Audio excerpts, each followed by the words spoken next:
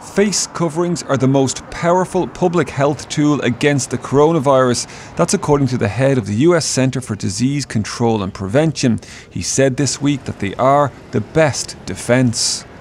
at a lab at the Mater Hospital, they're putting different types of coverings through the ringer, testing their effectiveness. Recorded on a high speed camera, this is the load of droplets expelled from the nose and mouth when not wearing a covering. Coughing means more and they travel further. and this is what happens when breathing through a common surgical mask. The volume expelled into the air is reduced. There are similar results from a cloth covering.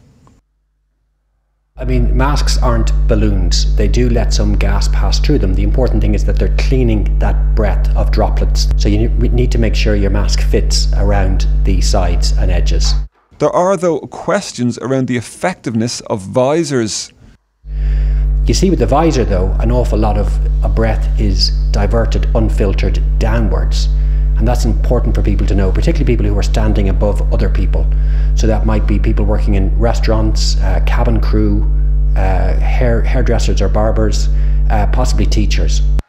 This laser technology at the lab highlights the droplets hanging around. The research also shows that the droplets and aerosols from our nose and mouth can remain suspended in the air for up to an hour before they fall to the ground. The findings here something to consider as we go about our daily lives. Conor Hunt, RTE News.